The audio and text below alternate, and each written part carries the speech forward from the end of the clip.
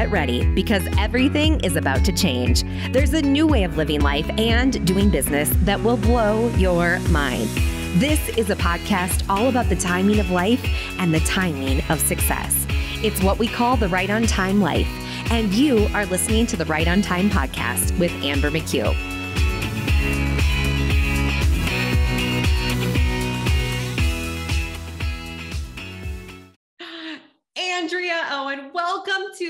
Right on Time podcast. I am so happy you are here. Amber, I'm so glad. It's always a pleasure to talk to you. So, yes, I'm pumped too. Oh my gosh, your energy is radiant. Your books are phenomenal. Every time I go to your website, I'm always overjoyed by your photos and the energy that pulls through there. You are the author of three incredible books. Make Some Noise is the latest mm-hmm. 52 Ways to a Kick Ass Life and How to Stop Feeling Like Shit. And that was actually the first book. That's when I came to know him. Like, look at this. What a great book. Uh, how, it was a catchy title. oh my gosh, so catchy! It's awesome. Like, yeah, I don't feel like shit every day, but there are days. And how do yeah. I stop that? Even yeah. if I have one day, I'm like, no, don't want it. I'm out. Yeah.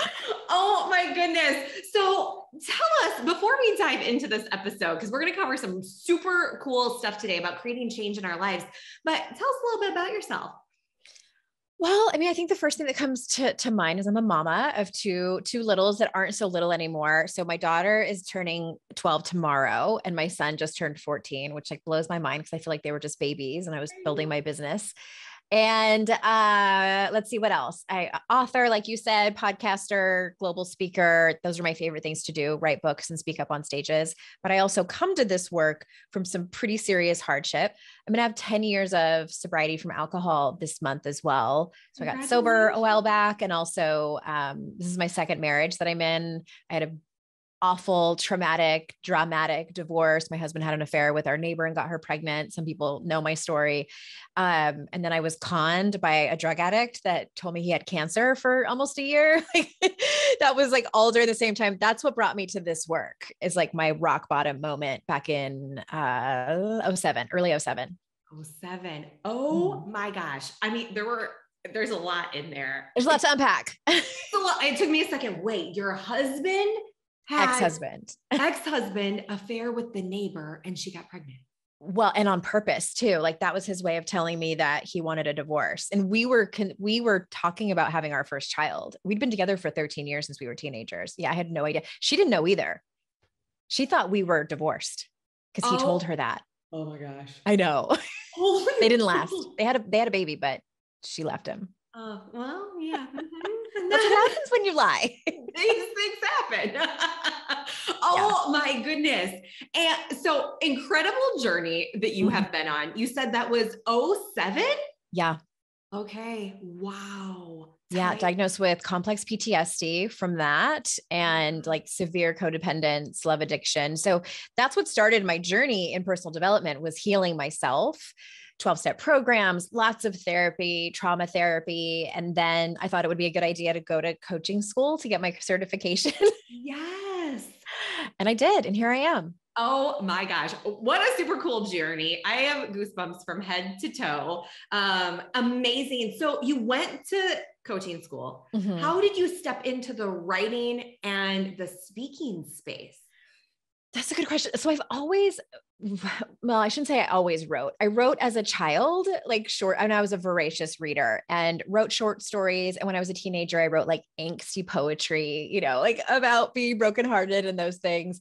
And then in my 20s, I lost myself in a relationship, the one I just mentioned, and didn't write for a long time. Not for any particular reason other than I just didn't think that it would was useful for my time.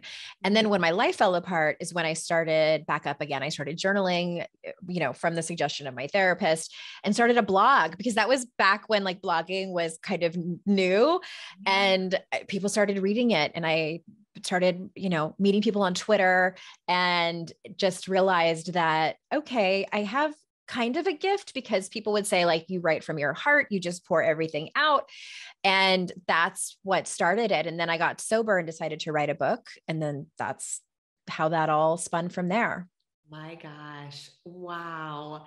Um, it's so cool to hear the steps that people take on their journey to get from there to mm-hmm. here mm-hmm. because it can look like so many different things. And as you know, like creating change, even though we want the change, sometimes it could still be hard. Um, so before we go there, okay, tell us about Make Some Noise. Uh, okay, so this book is my third, as you mentioned. And honestly, I got the idea when I was writing How to Stop Feeling Like Shit. So a lot of people ask me when I'm talking about negative self talk and the inner critic, people are like, where did this beast come from? And so I always say it could come from a handful of things. It can come from your wiring. Just some people are more, uh, you know, rejection sensitive. Some people are more shame prone than guilt prone. It depends on just mm. how you're born. And it also can come from your family of origin, how you were spoken to, how your parents, you know, sort of, um, looked at talking about your feelings and things like that. And then the third way is from our culture, especially as women, the majority of my audience is women. We are brought up to be fundamentally insecure mm-hmm. and to always be accommodating, to shrink ourselves in order to make people more comfortable. And we all drank that same Kool-Aid because there was no other beverage choices available. Like that's it. It just was, you know, the, the water that we swim in, the air that we breathe. And I wrote very briefly about that and how to stop feeling like shit. And I got the tap on my shoulder by my intuition saying, like, there's so much more to this, like, mm-hmm. expand, expand. But I couldn't because I was, you know, had an outline for another book. Yeah. And so that's really when it started. And then I just got the download about, you know, really what it was going to be about. And the short answer is I didn't feel like I could write another women's empowerment book and keep talking about women's empowerment without naming the elephant in the room. And that is our culture and how we have been more or less programmed and conditioned to be and to think. Mm, so good. And so make some noise mm-hmm. about how we shift that programming. Right. And mm-hmm. it's not necessarily like titles, you know, a lot of times are are tongue in cheek or a play on words, or you know, you don't have to take it so literally. I'm not asking women to go and like flip tables at home or tell their boss to, you know, piss off. I mean, you can if you want, but I'm not, yeah. I'm not encouraging it. That's not my advice.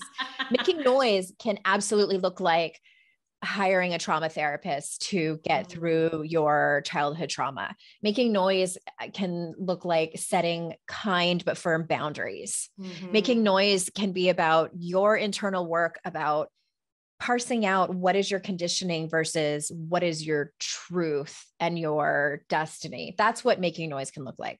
Oh, so good. Because in our community, so many of us are creating change. Mm-hmm. wanting to create change and sometimes hitting those blocks that we're unsure how to go about doing that.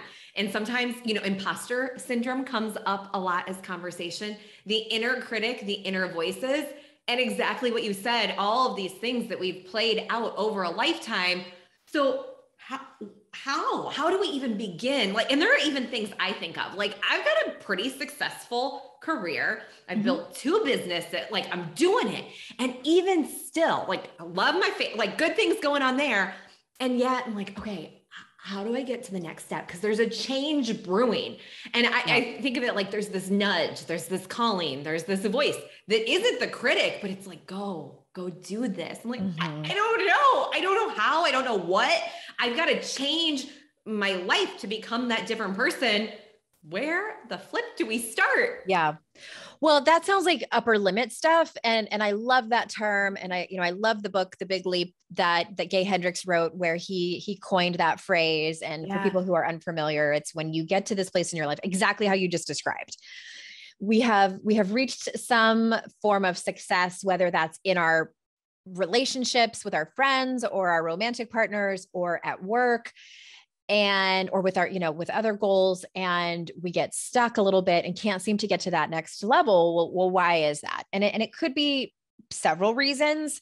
I think the one that there's maybe a little bit of you know i don't know if it's confusion but just unknowing about is our deep wounds that we have that are many times unconscious. And this is what i've been diving into recently because I'm same, Amber. Like I like on the surface, I can tell you the things that are hanging me up. You know, like if there was money blocks, if there was just, you know, the chatter, the negative chatter, like the limiting beliefs, like these things that we're, you know, conscious of and mm-hmm. and that mm-hmm. kind of make sense even though we don't like them. And and so many of the tools out there from coaches and therapists and personal development experts can help. Yeah. And then there it's like when they don't and same. So, what I've come to realize through asking people that are much smarter than I am and, and looking at research is that sometimes it's our nervous system that just mm. is flaring up, for lack of a better term. And that's what we need to look at. So, it can be again these these wounds that we have and for many it's things like the abandonment wound you know raise his hand over here the rejection wound uh, things like that and then there's also directly related to that things that have happened to us that have caused fears that we might not even know are there. So, all this to say, therapy can be very helpful. And I say this as someone who's not a therapist. I'm like, not selling you anything. Like, go to psychologytoday.com, find a therapist who perhaps specializes in what you think is going on. You know, it might be religious trauma, it might be, um, you know, emotional abuse that you received in a relationship when you were a teenager and you feel like mm-hmm. maybe this is kind of still coming up it could really be anything. And I think it's all worth digging into and looking at. So stinking awesome. And so, what are signs? Like you mentioned the inner critic. Yeah. Um, and I know I've got one. Do you think all of us have one? I do. And I think it looks and sounds different for each person. Yeah. Some people hear an actual dialogue of uh, you know like this is you know i'm so stupid. How could i have made that mistake? This will never work.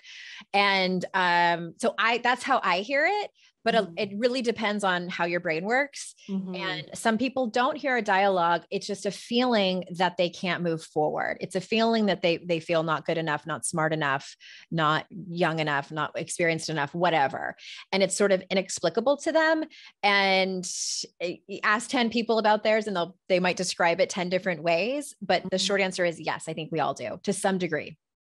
Interesting. That's so fascinating that you say sometimes it's a voice uh, an actual dialogue and yeah. other times it's just this knowing because for a long time I'm like I do not think I have this inner critic mm-hmm. and I mm-hmm. was standing in my closet in Ethiopia so this was probably winter 2018 and I'm like oh that's the inner critic and I was like changing clothes or something and having babies my my body has done all sorts of things uh-huh and I'm like, you know, no big deal. I'm just kind of always moving through it. It's good. It's fine.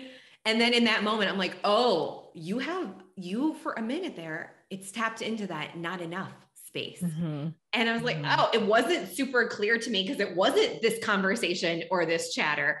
But all of a sudden, I just knew I'm like, oh, this is what's happening. Yeah. So, so if it's a voice, much more clear and easy to pinpoint. Like these are samples of sentences. But mm-hmm. for those of us who may also just just not have the voice, like how do we find that faster so we can start healing and moving forward?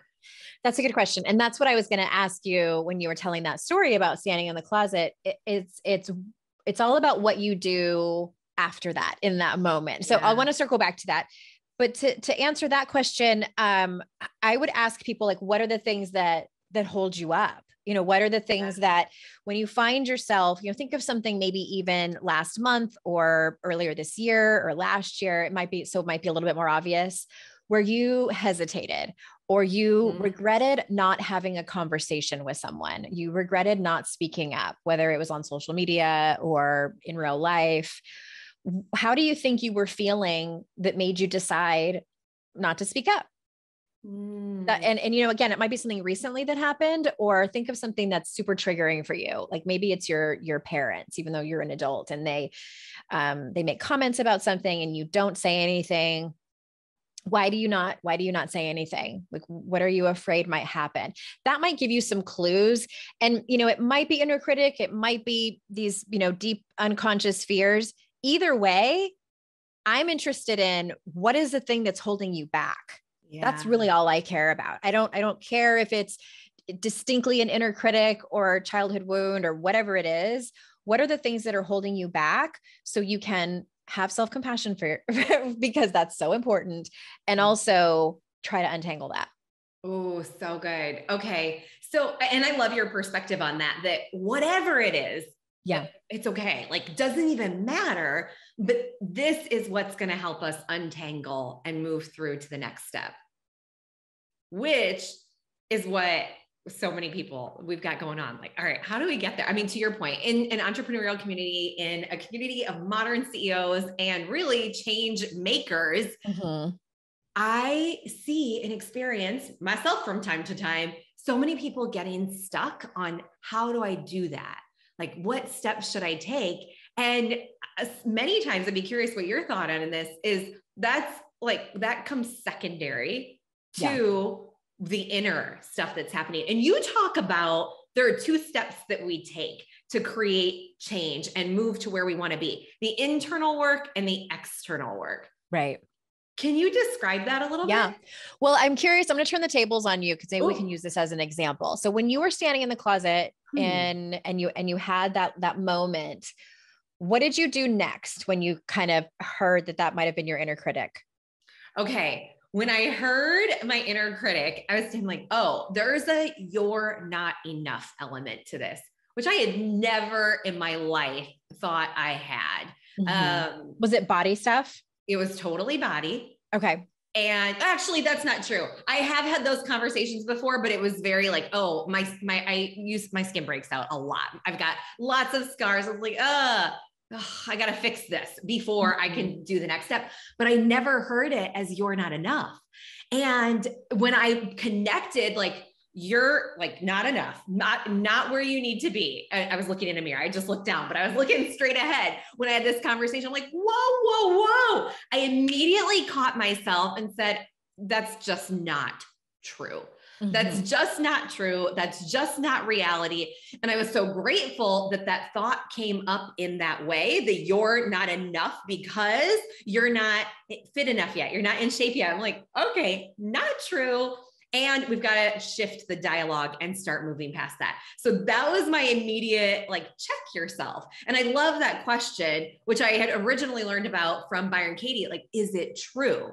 And mm-hmm. play that out like no actually it's not. Okay now what are we going to do about it? So that's where i yeah. was in that space Okay, good. So that's that's the goal. Like ideally that's the goal that we want people to get to. And so let's stick with that example because body stuff is pretty common with women.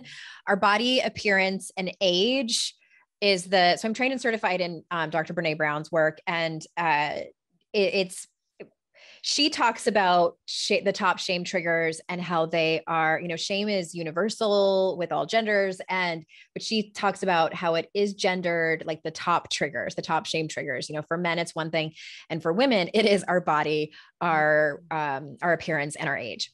Hmm. and so i just want to reiterate that it's it's important.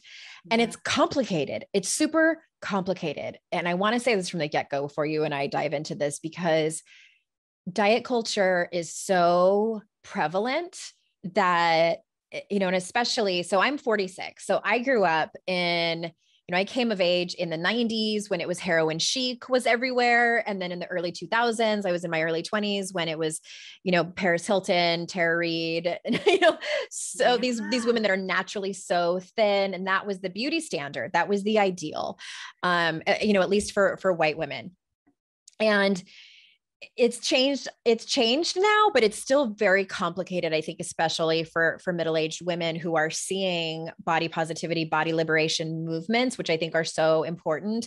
And then we're over here like wait what? We're supposed to do what? We're, yeah. we're supposed to not care about our body size and that doesn't matter anymore. So i just i just want to say that from the beginning. Yeah. And those questions that you ask yourself in those moments can be profoundly life changing. Mm. I, I I like some of Byron Katie's stuff. I don't love some of it because it can lead to some self blame. Mm. But I mm. I just love that she asks questions. You know, like, um, is this true? Another one is, is this helpful? Mm. Is this mm. empowering to me? uh, you know, some people like the question, who is profiting off of this thought and belief that I'm having right now? So I went through a major body thing around 2016 when my dad died. And I realized that I had never exercised for any other reason except to maintain or change the shape of my body. Mm. And I said I was doing it to like take care of myself and for health reasons. I have a degree in exercise physiology, like it's my background.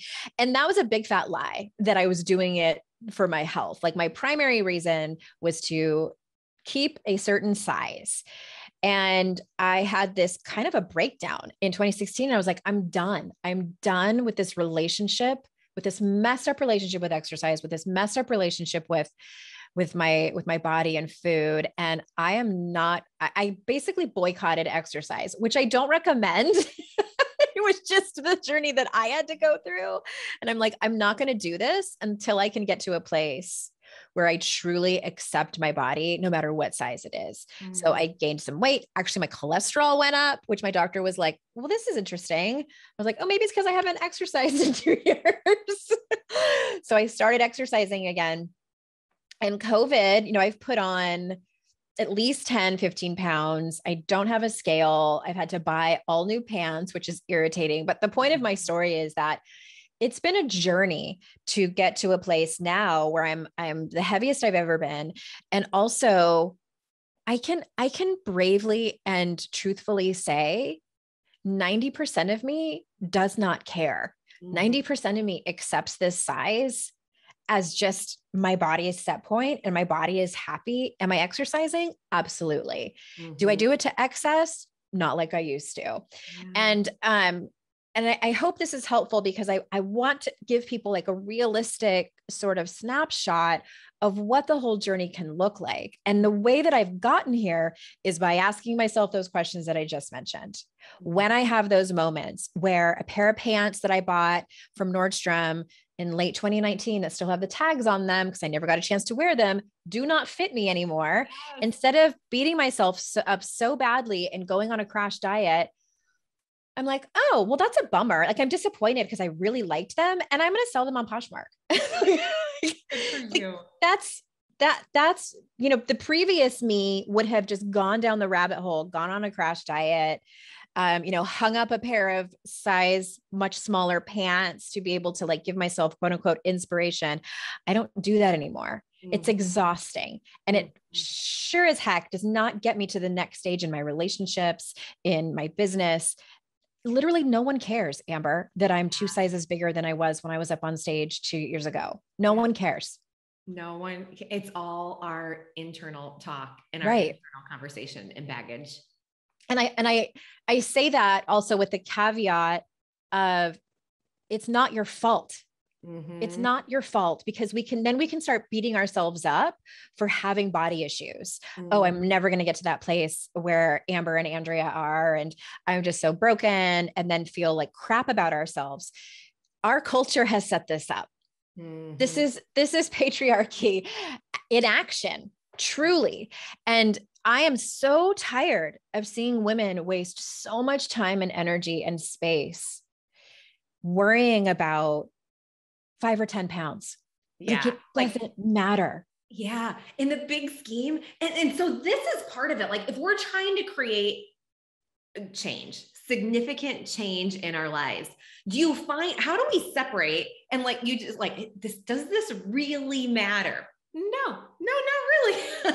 How do you shift from, okay, this is what I'm focused on. Are these the right things to the things that will really create the change? Like, how do we move toward the path of change versus spinning on these things that yeah. are just there? It's very nonlinear. And I think on a mm. surface level, it's easy for you to logically believe me when I say it doesn't matter. But when you're stepping out of the shower and you're, you know, putting on a pair, like I put my exercise, my biker shorts on when I, um, because I have a Peloton yeah. and like my belly, it's sort of like funny at this point, like it hangs over the front and then I like pull my biker shorts I'm like, this is new. This is this is new. So like those moments, like those little snapshots are what I want people to think about. And that, you know, even a year ago, it was hard for me to see that in the mirror. Mm. And it's it's just over time I've started to, you know, I just focus on self-compassion. Mm. I ask myself the questions. And I don't know if this is helpful for anyone out there, but um I see my mom's body in the mirror and and I love my mom. Like I think she's great and I think she's beautiful and no matter what weight she's at. And I and sometimes it's as simple as, you know, this is just genetics. Like this is just genetics. So amazing how there are so many uh, because we also ha- I run a photography business, boudoir photography, mm. and we are so hard on ourselves. Every single woman that I would shoot when I was shooting still, like, you're beautiful. Oh my gosh, you're beautiful. Oh, like you can see into someone's soul, like, ah, oh, it's you're so amazing. You're incredible. Like the positive would just flow out. And that was part of what we wanted to give to women. But then you play it back and like, wait, what like why are you saying these things to yourself? Yeah. And similar to your mom, like, is she she's stunning. You're mm-hmm. amazing. Mm. And it's hard to see those things in ourselves and for ourselves. Um, right. Like I look like, oh, Andrea's cranked out three books. Amber, like I got a book, I got a book done. I got another one started, not published. And I've got one that actually is out there and published. But I'm like, wait, why can't you wait? What why can't you do that? And my thinking goes to you can, but what is it? Is it like what then why aren't you? yeah. then why aren't you? Because so many people who are listening right now have a goal, have a dream, have a something, and you can do it. You mm-hmm. can do it. How do we get, how do we like, okay, go, go. I, okay. I love this. I love this shift. So one of the things that I've learned over 12, 13, maybe 14 years of entrepreneurship is that hustle culture will kill you. Boom. yeah. Yeah. tried to kill me. Mm-hmm. And I think that, you know, you and I were in it at the height of hustle culture, and I was a victim to it. And it, it gave me two different um, burnouts. I had two. And after the second one, I was like, okay, when I come back from this, which I'm still feeling, I think the ramifications from it because of COVID. Yeah. When I come back from this, how do I want things to change? And it's it's a major mindset shift similar to what we just talked about with the body stuff of what do I what do I how do I define hardworking? Mm-hmm. Because it used to be a set amount of hours, a certain amount of appointments, a certain amount of um, clients, you know, on on the docket, and I would feel so guilty and sometimes ashamed for laying down in the middle of the day when it was the first day of my period and I was really tired and I worked out that morning and didn't sleep. Mm-hmm. Like legitimate reasons for being tired. And and I'm paying for it now. Just, you know, there's health stuff going on. Mm-hmm. So I, I kind of got lost there. But I, I think that it's it's about doing some introspection and getting very clear on what your magical strengths and talents are and putting all the focus on that. My magical strengths and talents are writing books. Mm-hmm. My magical strengths and talents are not scaling group programs, which that might be one of yours. And I might compare myself to what you've created and think like, well, I could break seven figures if I just did it like Amber. It's like, no, that's not what I'm great at. I'm okay at that. but experience has shown me like my superpower is getting up on stage and delivering keynotes and writing books. So that's what I'm going to stick to. And I, this is the long way of answering your question about. Um, I even forgot how you worded the question, but but my journey into getting to a place where I'm just not so hard on myself about my success, about my business, about being an entrepreneur, and uh, honestly, that's one thing that I've learned the hard way through COVID. I don't know if that's been your experience. Mm, yeah, it's interesting. My big uh, learning of that was pre COVID. COVID, I thrived. Mm-hmm. It was bizarre. I'm like, how are you so productive? How there, I've this, known a few people who have. How are you so balanced in this? And I kind of did some assessment of my personality. I'm like, oh, okay, you're designed like when there is a conflict or when there's a problem, I'm like, let's go. Like this is when I'm like, yes. I, I joke that I would have been like great PR crisis management. Okay, like an Olivia Pope. yes, too much adrenaline. So I wouldn't actually choose that, but man, that would have been fun.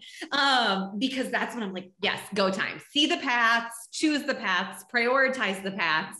So it, it was a little bit weird, but my big transformations came when I broke free from corporate, I was separating from my corporate environments and I was starting to create my own lifestyle, which I had a vision for, but I was, it was hard for me to break from the habits of the hustle, yeah. like work 24 seven.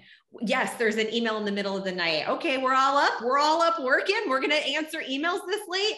Work hard, play hard. And I went from a culture that was focused on talent management and they still worked their buns off. They were phenomenal people, but phenomenally hardworking to a culture that was, this was again, corporate, the frat party. And okay. And this was like, we're like, it's a party. You're going to work hard. You got to play hard. And I got in trouble at this very professional, wonderful organization once because I didn't go to the play hard event. I'm like, but I got work too, and I've got a family, and like this is what we're prioritizing, like getting wow. wasted. And an like, image. yeah. Like I, I love it. Like there's a place for the camaraderie, but just it just so happened that day I had another priority. And that was a big aha for me in terms of my values. I'm like, I will play hard, but some days I've got to prioritize this work that needs to get done, or I've got to prioritize my mm-hmm. family. And so just it was for me about my values. And then when I realized when I started working on my own, like, wait, you say these are your values. Are you showing up in alignment? Again, it was another question. I love that you brought this to the surface. And my answer back was no, you are not showing up in alignment with those values. We've got to make an adjustment. And you're right, it doesn't happen, it didn't happen quickly, but that was probably 10 another 10 years of like adjusting fine tuning mm-hmm. tweaking having conversation with the people i said matter my family okay how am i balancing work and all of these things? Because i love my clients. Yeah. i can show up there all the time with my clients and my team. And then i started to shift that value to okay family is a value. Client like this is an extension clients and team extension of family value. How do i show up? But it was a process yeah. Yeah. And it's, it's so, I love that you brought up like priorities and what are your priorities and how do they line up with your values? And, and so 2019 was my best year financially. And we thought, you know, as many business owners do, okay, like this trajectory is just going to keep going. And then COVID happened and and, and in my experience, I had like a complete mental breakdown. In the olden days, they would have called it a nervous breakdown. That's legitimately what it was. I had a rough, probably two or three weeks where I was not well mentally and emotionally. And luckily, I, I, told my husband, I told my best friend, I got a new therapist, told my doctor, got put on an antidepressant for the first time. And um, I was talking to a mentor of mine who had been my coach in 2019 when I made all that money. And I was beating myself up because I'm because it was, you know, we were halfway through 2020 and I'm like, I am going to make significantly less money this year than I did last year. And it's going to be the first time I have never experienced growth over the last decade. Yeah. And she said, you know what there's so many different ways that you can measure success and sometimes measuring success is taking care of your mental health and making that a priority mm-hmm. and i and this is a woman who is like eight figure earner. mm-hmm. And I was so thankful. It was Susan Hyatt. Like I was so thankful for her advice.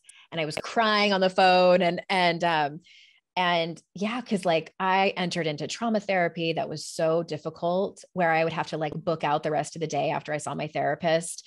And that whole year and I was writing a freaking book. Like it wasn't like I wasn't doing anything with like the biggest publisher in the world. It was like still kind yeah. of a big deal. oh my gosh. That's I prioritized my mental health. I made a lot less money. Um, and we were still okay. Like we were okay. And so I had to exactly what you said. I had to reprioritize and also redesign what my version of success is. And also I want to say this one thing real quick. My financial advisor um because I was, I felt like so just embarrassed, you know, like when she mm-hmm. came over and was doing our yearly thing with us as financial advisors do. And I said, you know, I showed her the numbers and and she was like, Andrea, that's this is normal. She's like, I work with a lot of business owners and this is totally normal. And I was like, it is like not to make this huge profit. And she was like, yeah.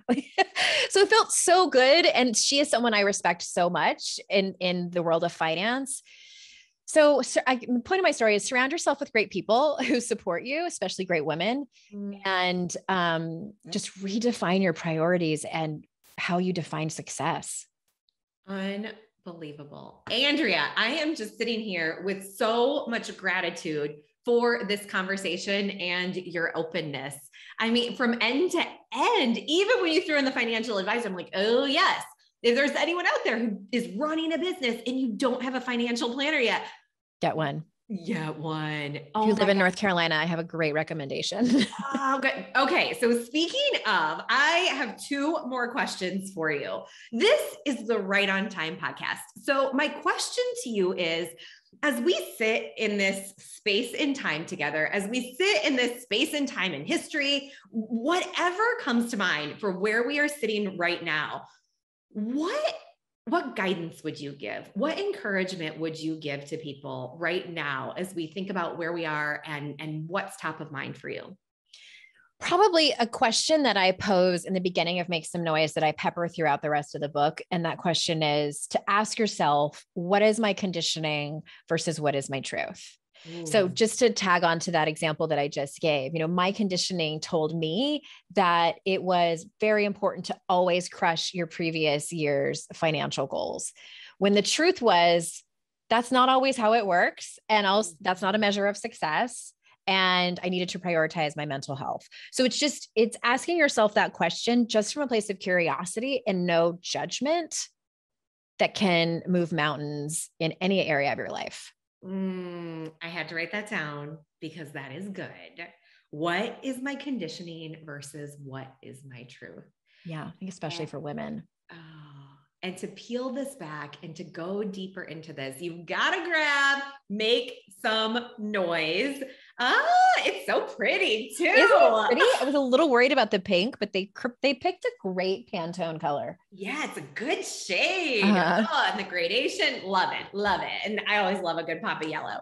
Um, and then my second question to you is where do people find you? Where do people connect with you to go deeper into your work? So if they're interested in the book, I would send them to andreaowen.com slash noise because that's where all the, the free stuff is. There's a 65 page free workbook that goes with the book so they can get that there. And then also I have a podcast of the same name, Make Some Noise Podcast. Fabulous. Easy to find. If you have any questions about this, as you listen and you can't find something, hit us up. We're going to link up everything in the notes with this episode if you want to link straight out. Andrea, Thank you. You are a gift. It has been such a joy to spend this time with you. Thank you, Amber. Thank you so much. It's been fun. All the love. Mwah. Bye. Hey, hey, Amber McCue here. Welcome to the Right on Time podcast. You are not going to regret listening to this episode. Today on the podcast, we are hanging out with Andrea Owens, the author of the new book, Make Some Noise. Now, if you've ever wanted to create any change in your life, this is the book. This is the book you have to read and the episode you have to listen to to start to understand how. How is there something we know we want, know we can have, know we can achieve, a goal we know is for us because it is in us, but somehow we are stuck in moving toward and reaching this goal to create change and to move towards what you want. You gotta listen to this episode and you've got to hear what Andrea has to say. From tapping into those conversations that we have with ourselves, to our inner critic, to that internal knowing, all the way through to financial advisors and success in business and where we have not had success and how we overcome and move through that. Andrea covers so much in this episode with us. It was such a lovely conversation. I was taking mad notes. I cannot wait to see the notes that you walk away with. Without further ado, let's dive into this episode with Andrea Owen, speaker, author, coach, and change maker. The latest book is Make Some Noise. And this episode might cause a little bit of shift. It might make you a little bit uncomfortable from time to time. I was questioning myself. I was having ahas. Um, we gotta, we gotta get into this. Let's go. I'll see you in the episode. And at the end, I'm going to circle back with a special excerpt from the book. This is the closing. Um, I wasn't joking. That was pretty incredible, wasn't it? What a thrilling episode. I was so grateful at the end. Andrea went where she went. She turned the tables on me. And I hope that you experienced uh, a shift, a change, a little bit of a nudge towards taking the step towards your next goal as well. As we bring today's episode to a close, I want to read an excerpt from Andrea's book, Make Some Noise. This excerpt is a poem that she has in the book called Burn It Down. Here we go. Burn it down. She had fire in her belly and she used it to summon her truth. She had fire in her soul, and she used it to remember where she came from. She had fire in her heart, and she used it to trust the women who came before her. She had fire in her spirit, and she used it to show other women their own flames. She had fire in her eyes and she used it to burn it all down. She had fire in her every being and she used it to blaze a new path, a new way, a new life. That last line got me. You may hear it in my voice. There are certainly tears in my eyes. I'm going to read those last two pieces again. She had fire in her every being, and she used it to blaze a new path, a new way, a new life. If you see a different way of doing business, if you see a different way of doing life, this is your sign and you are right on time.